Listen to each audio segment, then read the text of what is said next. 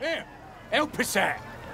Says here that goblinoids are obstreperous and malodorous. What's that mean?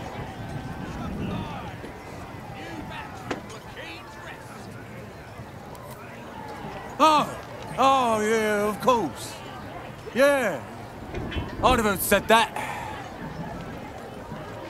Bit wordy though, isn't it? Humans ain't good for much. Still. Only other stuff to read round here is the filth clagger scrawls in the latrines.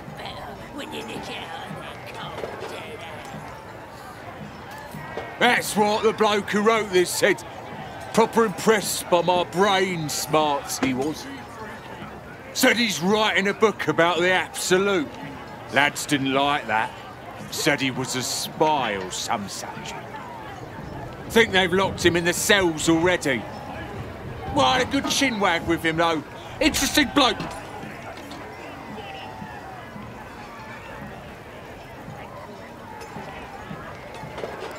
Yeah, he mentioned that about a thousand times. Don't matter how famed he is, he's gonna end up as supper.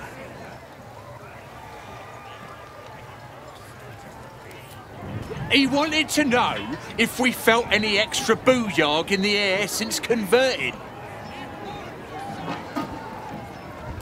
Magic. Then what the Absolute choosers are brimming with it.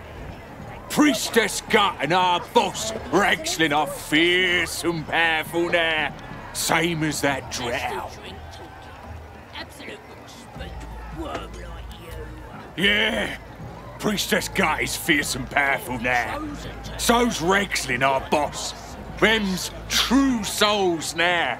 Just like that drow. They have the kind of booyahg that comes from being chosen by a god.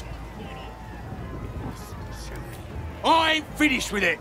There's enough breeding here to last me a lifetime. As the symbol glows, power courses through you. Authority.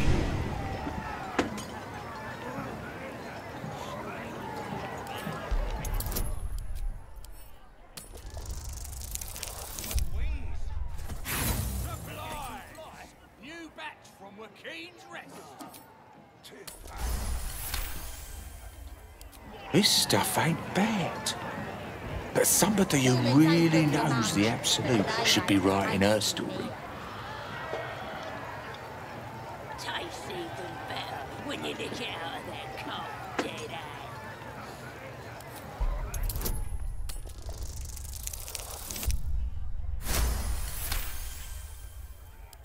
You're right. What does some bleeding outsider know that I don't? I'll be famous. And nobody will remember this pack of lies.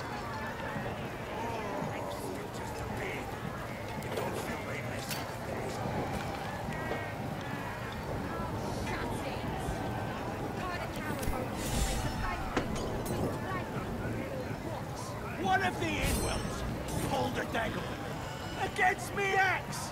Bloody idiot.